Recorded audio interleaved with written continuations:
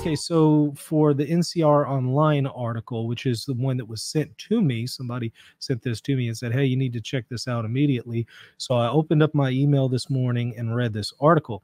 It says Pope Francis on February 21st reaffirmed uh, that the Vatican's worship office has been given full authority to limit the celebration of the pre Vatican II Latin Mass and what may be seen as a major blow to some U.S. bishops seeking to circumvent the office's decision on the matter. So, whether we like it or not, um, the uh, Holy Father himself has confirmed that the DDW uh, does actually have the authority uh, to say, hey, no, you need to run this by Rome first.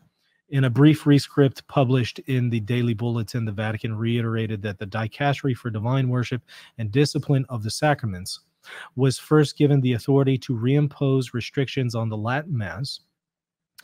Uh, in the Pope's July 2021 law, Traditionis Custodes, which was later con- reconfirmed in December of 2021 when the Vatican published a response or dubia on how the new law was to be applied.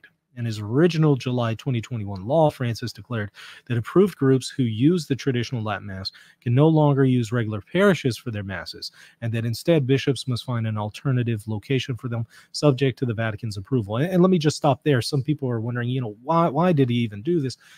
Again, to kind of reiterate, although I've done shows fully devoted to the question of Traditionis Custodes, but just to recap, one of the concerns that Pope Francis has is not with the Latin Mass itself, as it's again erroneously called, the Missal of 62, um, it, the concern isn't so much with that as much as it is how it has been become weaponized and people are using it to dissent from the magisterium. That's what Pope Francis himself says whenever he issued Traditionis Custodes. That's the main reason for why he issued it. Now, I think that we can say, even though we under we we can certainly say you know, I understand that that's a legitimate concern, and that group of people who are weaponizing the Missal of 62 certainly need to be uh, disciplined and reined in.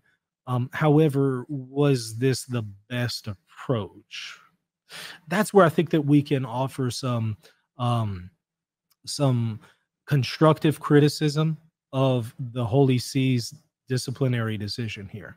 I think we can question whether or not that has been the best approach to deal with a legitimate problem because there are some people who do not weaponize the Missal of 62 and find it very beneficial and yet they have to suffer because of others. So, is there maybe a better way to handle this? I'm of the opinion that perhaps there is a better way to handle this. So, I understand where Pope Francis is coming with Traditionis Custodes. It's certainly within his authority but just from where I stand, it seems like, you know, there's some people who are impacted by this decision that really don't deserve to be impacted. And that legitimate concern of Pope Francis can be addressed through other measures. But that's just my opinion. Um, that's my Canon 212 eh, constructive criticism, if you will. Um, but ultimately, it's up to the Holy Father to the, determine these things. Hey, thanks for watching. Don't forget to hit the like button and the subscribe button. God bless.